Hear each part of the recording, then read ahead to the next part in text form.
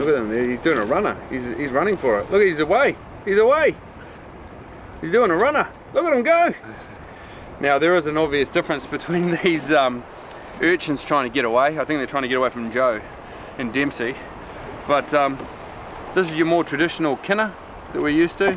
Now these guys here with the longer spines, not a lot of people know you can actually eat them as well, but they look quite different on the inside. So we're just going to take a look here. Just back of a knife's really good just to make a line, crack, open them up. Now what we do is we shake the guts out and that just leaves behind the roes. Now this kina here is quite skinny. Teaspoon is the best thing to have on a boat when you're eating kina. You just give them a scrape and that roe there, that's the bit you eat. That's a bit of a skinny one, but when they're brown like that I reckon they're delicious. And uh, it's as simple as that. And there's something about eating fresh kina when you're still on the water. Skinny, but delicious. But delicious.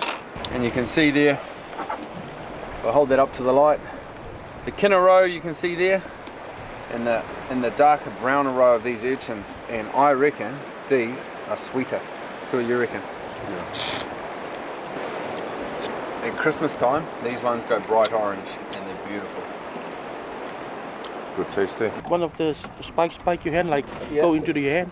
It's really poison, but what do you do, you turn it over and suck it out itself.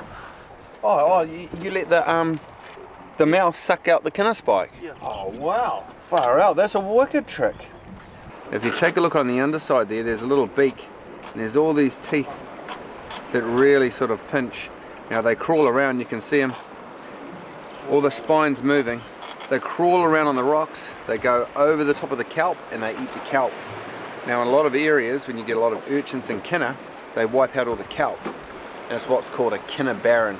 And, and it's bad news. Because snapper numbers are down, there's not enough snapper to eat the kina, and then all the kina eat all the kelp, then when the kelp's gone, there's no habitat for baby fish. So it's like a real vicious circle. So um, not only we're we having a delicious feed, we're actually helping the helping the environment. So So go out and eat these and these. They're delicious, and you'll help the ocean.